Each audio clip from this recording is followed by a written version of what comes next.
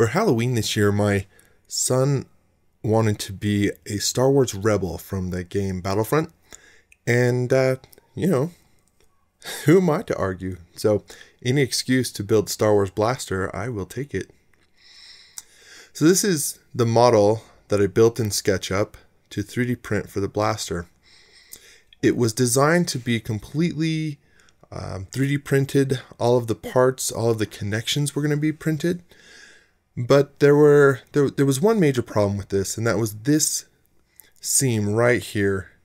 Um, after this was all done, and my son and his cousin were playing with it, they broke it pretty quickly. And it's because there's not really any strength.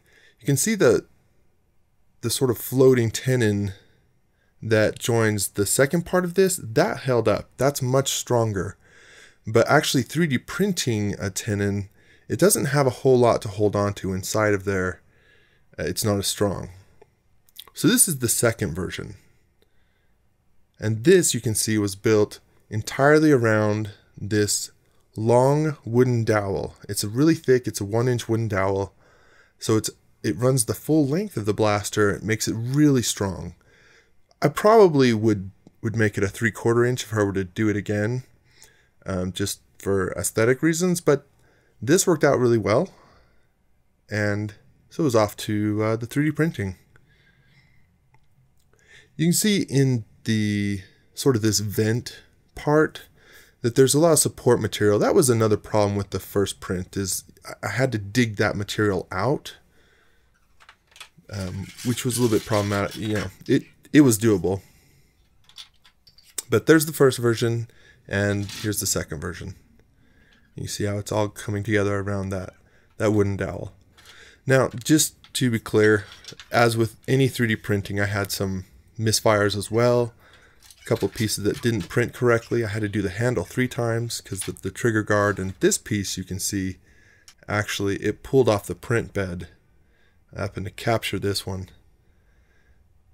Remarkably, the the rest of the handle still printed. It was skewed, but this was unusable. So that's part of the nature of 3D printing. Um, this printer is a really fantastic printer. I, just hadn't cleaned the bed in a while, so I think that was my fault more than anything. But putting this together was, was pretty simple um, some CA glue, and I found after the first one definitely to um, wipe that up, clean up as you go. But it's pretty straightforward. All the pieces go together. Some CA glue and some accelerator to make it fast. Putting these together is, is fun. They go together so quickly. Um, it's really gratifying after you. It takes a couple days to print out all the parts, but then you put it together and it goes together in about 15 minutes. Although I did not glue the front barrel, um, that part of this on. And I did that so that I could finish it differently. So with it all, with part of it glued up, it was time to finish it. So I started as you should with a primer, uh, a nice filler primer. Now I didn't take a lot of time sanding down some of the ridges from the printing.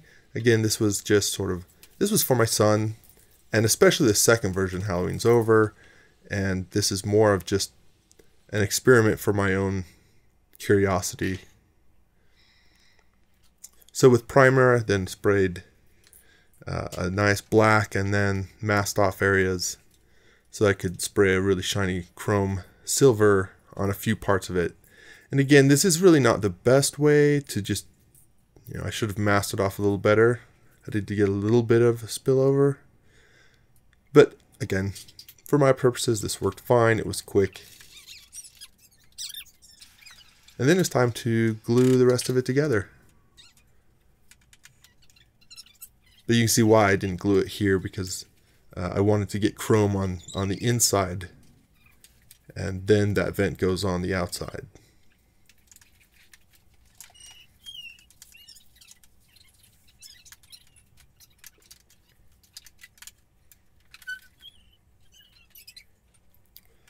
So there's the old version. You can see it was weathered. And it's time for weathering on the new version. Weathering is a lot of fun. And I'm not I'm not by any means an expert at it. This is a fun process. I actually I like the way that the first blaster came out. It, it felt like it came out with more scratches. I kind of overdid it on this one. Um, but you can see it's sort of taking acrylic paint, painting on just some of the edges that would get sort of chipped and brushed with normal wear.